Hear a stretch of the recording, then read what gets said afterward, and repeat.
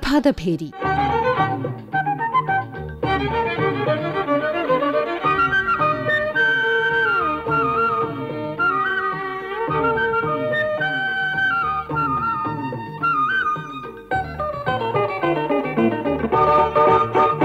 Online gaming മേഖലയെ നിയന്ത്രിക്കാൻ സമഗ്രമായ നിയമ ഭേദഗതിയുമായി കേന്ദ്ര സർക്കാർ. ഗെയിമുകൾക്ക് സ്വയം നിയന്ത്രണ സംവിധാനം കൊണ്ടുവരുന്നു.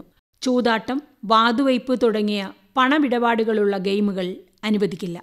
കൂടുതൽ വിവരങ്ങളുമായി കോട്ടയത്തെ ഇന്ത്യൻ ഇൻസ്റ്റിറ്റ്യൂട്ട് ഓഫ് ഇൻഫർമേഷൻ ടെക്നോളജിയിലെ സൈബർ സെക്യൂരിറ്റി വിഭാഗം മേധാവി ഡോക്ടർ പഞ്ചമി വിജയൻ.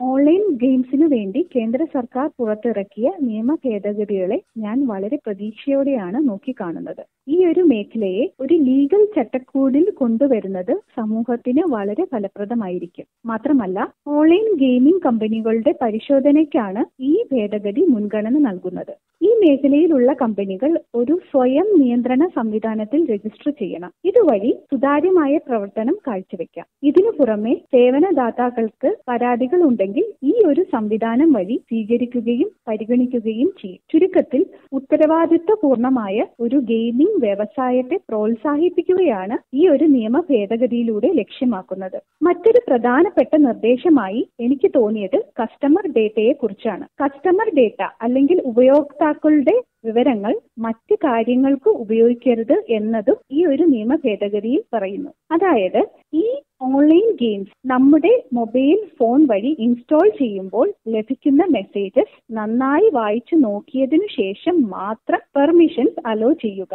അല്ലെങ്കിൽ ഇങ്ങനെയുള്ള മൊബൈൽ ആപ്ലിക്കേഷൻസ് നിങ്ങളുടെ സ്വകാര്യ ഡേറ്റ ആക്സസ് ചെയ്യും. ഇതിനു പുറമെ കുട്ടികളുടെ ഗെയിമിംഗ് സംബന്ധിച്ചും നിർദ്ദേശങ്ങൾ പരിഗണനയിലുണ്ട്. അതായത് പതിനെട്ട് വയസ്സിൽ താഴെ പ്രായമുള്ള കുട്ടികൾ കളിക്കുന്നതിന് രക്ഷിതാക്കളുടെ അനുമതി വേണം. ഓൺലൈൻ ഗെയിംസ് പല തരത്തിലുണ്ട് കൺസ്ട്രക്റ്റീവ് ഗെയിംസും ഉണ്ട് ഡിസ്ട്രക്റ്റീവ് ഗെയിംസും ഉണ്ട് ഇതിൽ ഏത് ഗെയിംസ് ആണ് നിങ്ങളുടെ കുട്ടി ഉപയോഗിക്കുന്നത് എന്നത് ശ്രദ്ധിക്കണം. മാത്രമല്ല എത്ര സമയം കുട്ടികൾ ഇങ്ങനെയുള്ള ഗെയിംസ് കളിക്കാൻ ചിലവഴിച്ചു എന്ന് ഉള്ളതും നിരീക്ഷിക്കണം. എന്നിരുന്നാലും ഇതിന്റെ പൂർണ റെസ്പോൺസിബിലിറ്റി ആര് ഏറ്റെടുക്കും എന്നത് ഇനിയും ക്ലാരിറ്റി വരുത്തേണ്ടതുണ്ട്.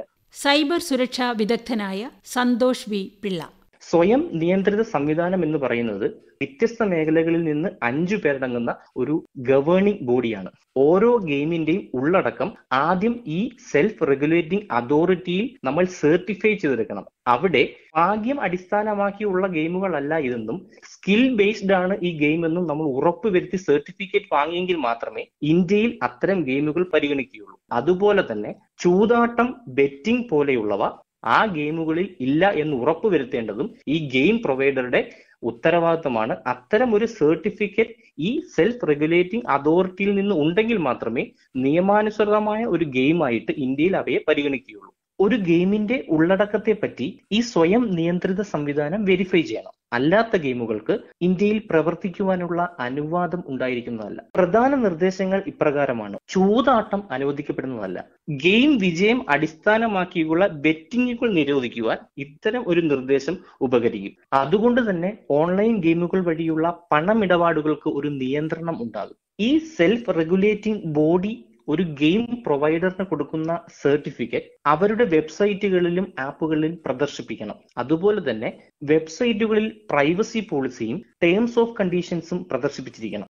സാമ്പത്തിക നഷ്ടങ്ങളെക്കുറിച്ചും സാമ്പത്തിക നഷ്ട സാധ്യതകളെ കുറിച്ചും യൂസറിനെ ബോധവൽക്കരിക്കണം. അതുപോലെ തന്നെ യൂസറിന്റെ കെ വൈ സി നിർബന്ധമായിട്ടും വെബ്സൈറ്റിൽ അപ്ലോഡ് ആയിരിക്കണം. ഇത് ഏജ് വെരിഫിക്കേഷന് വളരെ സഹായകരമാണ്. ഗെയിമിംഗ് കമ്പനികൾ ഒരു ചീഫ് കംപ്ലൈൻസ് ഓഫീസറെ അപ്പോയിന്റ് ചെയ്യണം. അദ്ദേഹം ഒരു ഇന്ത്യൻ റെസിഡന്റ് ആയിരിക്കും വേണം എന്നൊരു നിബന്ധനയുണ്ട്. ഗെയിമിംഗ് കമ്പനികൾക്ക് ഇന്ത്യയിൽ ഒരു ഫിസിക്കൽ കോണ്ടാക്ട് അഡ്രസ് ഉണ്ടായിരിക്കണം എന്ന ഒരു നിബന്ധനയുമുണ്ട്. വരും വർഷങ്ങളിൽ കണ്ടന്റ് കൺട്രോൾ കൂടി ഈ ഡ്രാഫ്റ്റ് പ്രകാരം ആലോചിക്കുന്നുണ്ട്. അതായത് രാജ്യസുരക്ഷയെ ബാധിക്കുന്ന യാതൊരു കണ്ടന്റുകളും ഓൺലൈൻ ഗെയിമുകളിൽ ഇല്ല എന്ന് ഉറപ്പുവരുത്തും അതുപോലെ തന്നെ വയലന്റ് ആയുള്ളവ അഡിക്ഷൻ ആയുള്ളവ സെക്ഷൽ കണ്ടന്റ് ഉള്ളവ എന്നിവയും നിയന്ത്രിക്കപ്പെടും. പതിനെട്ട് വയസ്സിന് താഴെ പ്രായമുള്ളവർക്ക് ഗെയിം കളിക്കുന്നതിന് രക്ഷിതാക്കളുടെ അനുമതി വേണം എന്നൊരു നിർദ്ദേശം കൂടിയുണ്ട്. മറ്റൊരു നിർദ്ദേശം സർട്ടിഫിക്കറ്റ് ഡിസ്പ്ലേ ആണ്. ഈ സർട്ടിഫിക്കറ്റ് ഡിസ്പ്ലേ എന്ന് പറയുന്നത് എന്ത് തരം ഉള്ളടക്കമാണ് തങ്ങളുടെ കുട്ടികൾ കളിക്കുന്നത് എന്ന്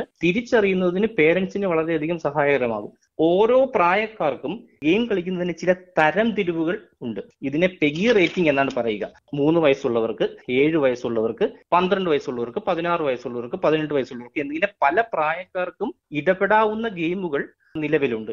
പക്ഷെ ഒരുപാട് ഗുണപരമായ കാര്യങ്ങൾ കൂടി ഓൺലൈൻ ഗെയിമുകൾക്കുണ്ട് എന്ന് നമ്മൾ മനസ്സിലാക്കണം. ബെറ്റർ ബ്രെയിൻ ഫംഗ്ഷൻ മികച്ച hand eye coordination logical skills problem solving skills നല്ല ഫോക്കസ് ഉണ്ടാക്കുന്ന അങ്ങനെ പലതരം ഗെയിമുകൾ യഥാർത്ഥത്തിൽ നിലവിലുണ്ട്. മൈൻക്രാഫ്റ്റ് പോലെ ചില ഗെയിമുകളുണ്ട് ഇൻട്രസ്റ്റിംഗ് ആയിട്ടുള്ള അവ എന്റർടൈൻമെന്റ് ആയിട്ടുള്ള അതുപോലെ എഡ്യൂക്കേറ്റീവ് ആയിട്ടുള്ള ഗെയിമുകളാണ് മൈൻഡ് ക്രാഫ്റ്റിന്റെ പ്രത്യേകത. ഇത്തരം ഗെയിമുകൾ നമ്മുടെ കുട്ടികൾക്ക് റെക്കമെൻഡ് ചെയ്ത് കൊടുക്കാവുന്നതാണ്. പിന്നെ എഡ്യൂക്കേഷണൽ ആണ് എന്നൊരു ലേബൽ ഉണ്ടായത് കൊണ്ട് മാത്രം നമ്മളൊരു ഗെയിം കുട്ടിക്ക് റെക്കമെൻഡ് ചെയ്യണമെന്നില്ല. കാരണം അത് നമ്മുടെ കുട്ടിയുടെ ലേണിംഗ് നീഡ്സ് മനസ്സിലാക്കി വേണം ഇത്തരം ഒരു തിരഞ്ഞെടുപ്പുകൾക്ക് നമുക്ക് സഹായിക്കാൻ.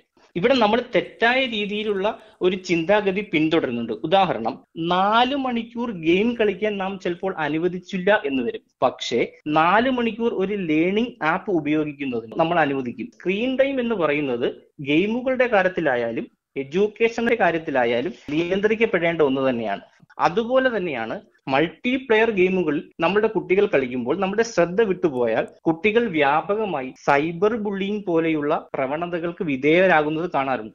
ഓൺലൈൻ ലോകത്തെ കളിയാക്കലുകളെ പറയുന്ന പേരാണ് സൈബർ ബുള്ളിങ് ഏറ്റവും കൂടുതൽ കുട്ടികൾ ആത്മഹത്യ ചെയ്യുന്ന ഒരു കാരണം കൂടിയാണ് സൈബർ ബുള്ളിങ് നമ്മളുടെ കുട്ടികൾ അത്തരം പ്രവണതകളിൽ ചെന്ന് പെടുന്നില്ല എന്ന് നാം ശ്രദ്ധിക്കേണ്ടത് അത്യാവശ്യമാണ്.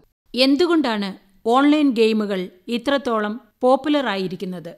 കോട്ടയത്തെ ഇന്ത്യൻ ഇൻസ്റ്റിറ്റ്യൂട്ട് ഓഫ് ഇൻഫർമേഷൻ ടെക്നോളജിയിൽ സൈബർ സെക്യൂരിറ്റി ഡിപ്പാർട്ട്മെന്റിൽ അസിസ്റ്റന്റ് പ്രൊഫസറായ ഡോക്ടർ അരുൺ സിറിൽ ജോസ്. ഏതാണ്ട് ടോട്ടലായിട്ട് ഡൗൺലോഡ് ചെയ്യപ്പെടുന്ന മൊബൈൽ ഗെയിമുകളുടെ പതിനേഴ് ശതമാനവും ഇന്ത്യയിൽ നിന്നാണ്. അതാണ് കണക്കുകൾ സൂചിപ്പിക്കുന്നത്. എന്തുകൊണ്ടാണ് ഈ ഗെയിമുകൾ ഇത്രയും പോപ്പുലർ ആകാൻ കാരണമെന്ന് ചോദിച്ചാൽ നമ്മൾ പാൻഡമിക്കിന്റെ സമയത്ത് ലോക്ക്ഡൗൺ ഉണ്ടായിരുന്നു. അതുകൊണ്ട് ആളുകൾ ബോറടിക്കുമ്പോൾ കളിക്കാൻ വേണ്ടി ഡൗൺലോഡ് ചെയ്തു എന്നുള്ളത് ഒരു കാരണം. രണ്ട് നല്ല പ്രോസസ്സിംഗ് പവറുള്ള ഫോണുകൾ ചീപ്പായിട്ട് ആളുകൾക്ക് കിട്ടാൻ തുടങ്ങി. അതിലുപരി നമ്മൾ ഫോണുകളിൽ യൂസ് ചെയ്യുന്ന ഡേറ്റയുടെ കോസ്റ്റും ചീപ്പായി. പിന്നെ ഇന്റർനെറ്റിന്റെ കവറേജ് രാജ്യമൊട്ടാകെ കൂടി വന്നു. മൊബൈൽ ഗെയിമുകൾ എന്ന് പറയുന്നത് വളരെ സിസ്റ്റമാറ്റിക് ആയിട്ടാണ് അവർ അവരുടെ ഗെയിം ഫോം ചെയ്യുന്നത്. നമ്മുടെ ആക്ച്വൽ രൂപ എന്ന അവരുടെ ഗെയിമിൽ വളരെ റെയർ ആയിട്ടേ അവർ മെൻഷൻ ചെയ്യത്തുള്ളൂ. അവരത് ഇൻ ഗെയിം കറൻസി എന്ന് പറഞ്ഞ അതായത് ആ ഗെയിമിന്റെതായ കറൻസിയിലായിരിക്കും അവരുടെ എല്ലാ ട്രാൻസാക്ഷൻസും ഇട്ടേക്കുന്നത്. ആളുകളെ തിരിച്ചു വീണ്ടും ഗെയിമുകളിൽ കളി കണ്ടിന്യൂ ചെയ്യാൻ വേണ്ടി കംബാക്ക് ബോണസ് ഓരോ ദിവസവും നമ്മൾ ആ ഗെയിം കളിച്ചുകൊണ്ടിരുന്നാൽ നമുക്ക് എന്തെങ്കിലും ബോണസുകൾ കിട്ടിക്കൊണ്ടിരിക്കും. ഗെയിമിന് ഇടയ്ക്ക് തന്നെ അവരുടെ എന്തെങ്കിലും ഐറ്റം പർച്ചേസ് ചെയ്യാൻ എക്സ്പെൻസീവ് ആയിട്ട് ചിലപ്പോൾ ഒരു ആഡ് കാണിക്കും. അതേ ഐറ്റം ചിലപ്പോൾ രണ്ടു ദിവസം കഴിയുമ്പോൾ ചീപ്പായിട്ടുള്ള അഡ്വർടൈസ്മെന്റും കാണിക്കും. ഇന്നലെ ആയിരം രൂപ പറഞ്ഞ സാധനം ഇന്ന് നൂറ് രൂപയ്ക്ക് കിട്ടുമല്ലോ എന്നോർത്ത് സ്വാഭാവികമായും നമുക്ക് പർച്ചേസ് ചെയ്യാനുള്ള ആ ഒരു ടെൻഡൻസി അത് നമുക്ക് വരും. ഗെയിമുകൾ വളരെ എളുപ്പത്തിൽ ഉണ്ടാക്കി കഴിഞ്ഞാൽ ആരും അത് കളിക്കില്ല. ചാലഞ്ചിങ് അല്ല നമുക്ക്. ഒരുപാട് ഡിഫിക്കൽട്ട് ആയിട്ട് ഗെയിം ഉണ്ടാക്കിയാൽ അതും ആദ്യം നമ്മൾ കളിക്കും. പക്ഷെ പിന്നീട് നമ്മൾ കണ്ടിന്യൂ ചെയ്ത് കളിക്കില്ല. ഏജ് ക്വിറ്റ് എന്ന് പറയും. ഐഡിയൽ ആയിട്ട് ഒരു ഗെയിം ഉണ്ടാക്കണമെന്നുണ്ടെങ്കിൽ അത് ഒരുപാട് എളുപ്പമാകാനും പാടില്ല. ഒരുപാട് പാടാകാനും പാടില്ല. എന്നാലേ ആളുകൾ ഗെയിം കളിക്കുള്ളൂ. നമ്മൾ ആദ്യമായിട്ട് പൈസ മുടക്കി ഒരു ഇൻ ഗെയിം പർച്ചേസ് ചെയ്യുമ്പോൾ അതിനെ അവർ ഫസ്റ്റ് പർച്ചേസ് എന്ന് വിളിക്കും. അതാണ് ആ ഗെയിമിനെ സംബന്ധിച്ചിടത്തോളം ഏറ്റവും ഇമ്പോർട്ടന്റ് ആയിട്ടുള്ള കാര്യം. അതായത് ആ ഒരു particular mental barrier break down ചെയ്തു. പിന്നീട് അവിടുന്ന് നമ്മുടെ ഗെയിമിലെ ആ പെർട്ടിക്കുലർ ക്യാരക്ടറുമായിട്ട് നമ്മളെ അറ്റാച്ച്ഡ് ആക്കി കണ്ടിന്യൂ ചെയ്യിക്കുക എന്നുള്ളതാണ്.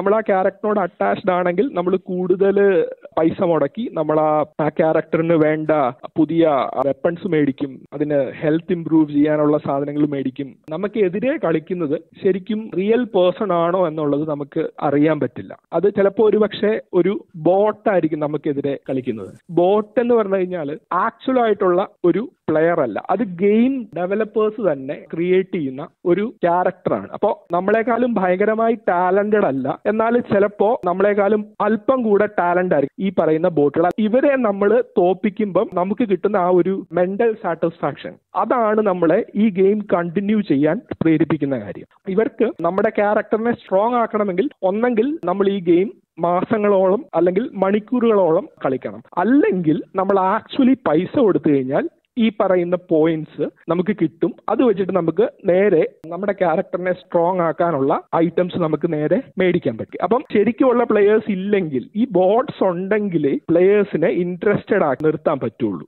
ഓൺലൈൻ ഗെയിമിങ്ങോ ഓൺലൈൻ വ്യാപാരമോ ഒന്നും ഒഴിവാക്കാനാകുന്ന കാലത്തിലൂടെയല്ല ഇന്ന് നാം കടന്നുപോകുന്നത്. വൻതോതിലുള്ള സാമ്പത്തിക ഇടപാടുകൾ നടക്കുന്ന ഒരു മേഖലയാണ് ഇത് ലോകം സഞ്ചരിക്കുന്ന ഈ വഴിയിൽ നിന്നും മാറി നടക്കാൻ നമുക്കുമാവില്ല.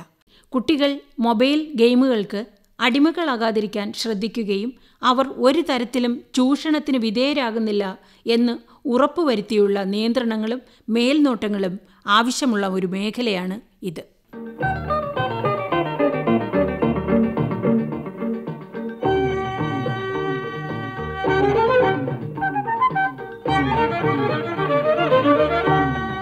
പ്രഭാതഭേരി